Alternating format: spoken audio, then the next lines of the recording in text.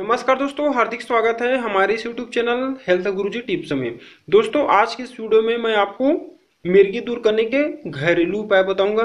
जी हाँ बिल्कुल ही दोस्तों, आज जो उपाय बता रहा हूँ, इस उपाय से आप पुराने से पुराने मिर्गी के दौरे को ठीक कर सकते हो। और दोस्तों, बात करूँ तो मिर्गी का दौरा आना बंद हो जाएगा। एक बार ये दवा कर लोगे तुम।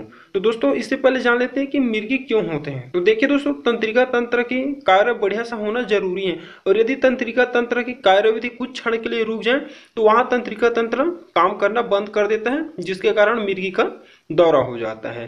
दोस्तों, इससे पहले जानते हैं कि मिर्गी आने का क्या कारण है। तो देखिए सिर में चोट लगने के कारण भी ये हो सकते हैं। जैसे कि कोई दुर्घटना हुआ है और दुर्घटना के दौरान यदि सिर में चोट लग जाए तो ये मिर्गी का कारण हो जाता है।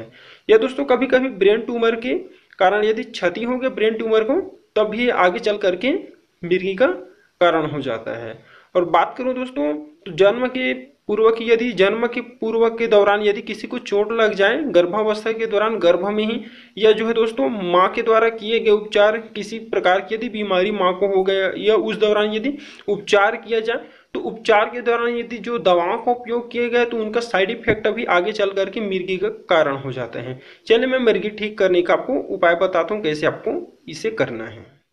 दोस्तों, इसके लिए आपको लहसुन की कली का उपयोग करना है। चलिए मैं आपको बताता हूँ कैसे करना है। देखिए, सबसे पहले आप इस तरह से लहसुन की कली को निकाल लीजिए। आपको आसानी से इस तरह से लहसुन की कली निकाल देना है। और दोस्तों, लहसुन की कली प्राय हर किसी के घर में मिल जाएँगे, या लहसुन प्राय हर किसी के रसोई में रहते हैं। और दोस्तों, मैं मिर्गी की बात करूँ तो मिर्गी का रामबाण दवा है।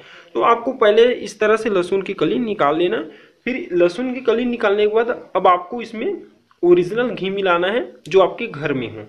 तो चलिए मैं आपको बताता हूँ कैसे मिलाना है। तो देखिए दोस्तों, इस तरह से आपको ये घी रख लेना और ओरिजिनल आपको अपने घर का ही घी का इस्तेमाल करना है। तो इस तरह से आपको लहसुन की कली में आप आवश्यकता अनुसार इसमें घी मिला सकते हैं। चलिए यहाँ पे मैं दो से तीन चम्मच मिक्स कर देता हूँ, क्योंकि दोस्तों इसमें मेरा लहसुन की संख्या कुछ ज़्यादा है। तो इस तरह से आपको लहसुन की कली में ये घी मिक्स कर देना। फिर आपको जो है दोस्तों, इसमें घी मिलाने के बाद आपको इसे पूरी तरह से इस तरह से आपको ये मिला लेना है।